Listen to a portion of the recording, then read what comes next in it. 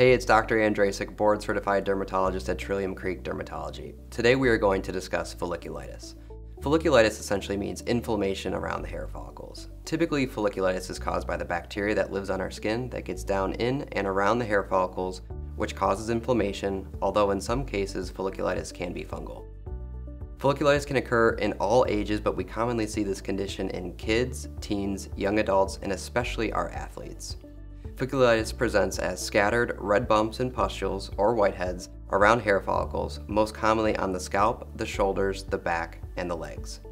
When folliculitis is bacteria, treatments include over-the-counter washes that contain benzoyl peroxide or chlorhexidine, as well as hypochlorous acid sprays. When folliculitis is fungal, treatments include over-the-counter washes that contain miconazole, such as Scrub MD. Sometimes more aggressive treatments are needed with oral antibiotics or oral antifungal medications. You can also stop by our H&H Science Boutique to check out our medical grade products that can help treat folliculitis.